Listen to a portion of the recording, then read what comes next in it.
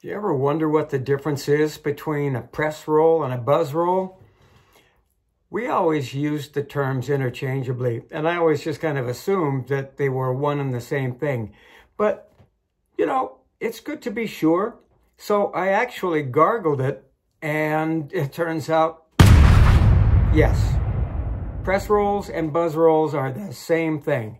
And technically it's called a multi-stroke roll because it's definitely not a double stroke roll.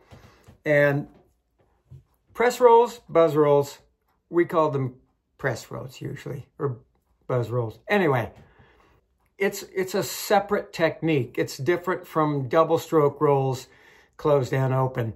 And as you close it, it becomes a multi-stroke roll and it's more than two strokes per hand.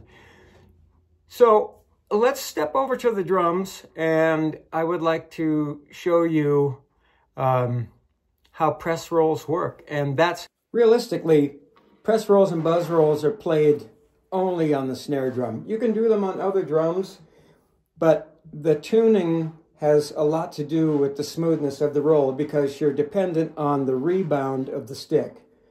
So some things to remember when you're doing press rolls. All it is, really, you're, you're holding the stick by the fulcrum and your other fingers are not doing much manipulation at all. And you just literally press it into the head like that. You want both hands to be able to do it exactly the same.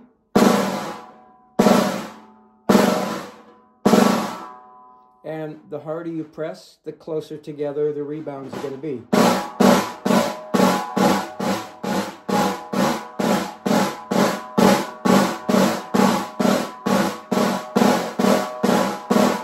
If you can do that, and practice it individually like that, your strokes are open, but the uh, sticks are buzzing, and then you start overlapping them. So rules of thumb, you want to move toward the edge of the drum.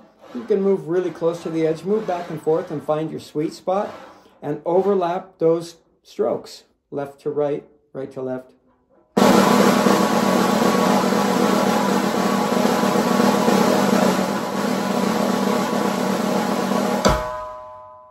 Is how you do a press roll or buzz roll. And if you practice it a little bit, it's not that difficult to get a really smooth roll. If you move to the center of the drum, the rebound is not the same and it's not going to be quite as smooth. So generally you want to move toward the edge, maybe halfway to the edge, but then you can go right to the edge.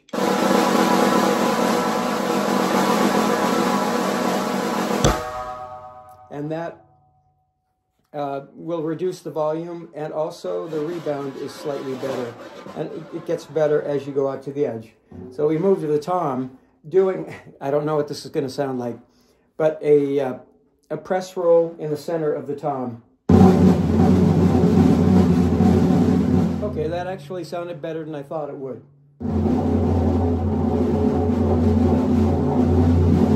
Now you move away from the center of the drum and you can hear that there's much less attack.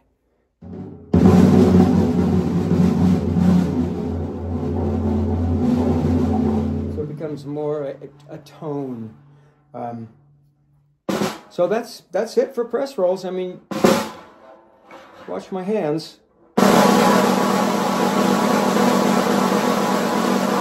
You can see that these three fingers are not doing much. I'm really not sticking my pinky out because it's so drilled into my head from one of my first drum teachers.